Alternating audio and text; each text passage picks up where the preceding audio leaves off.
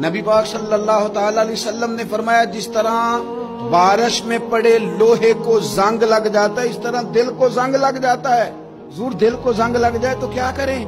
तो हजूर फरमाने लगे, एक मौत को याद करो और एक कुरान पाक की तिलावत किया करो। कुरान तुम्हें जंग से शिफा दे देगा।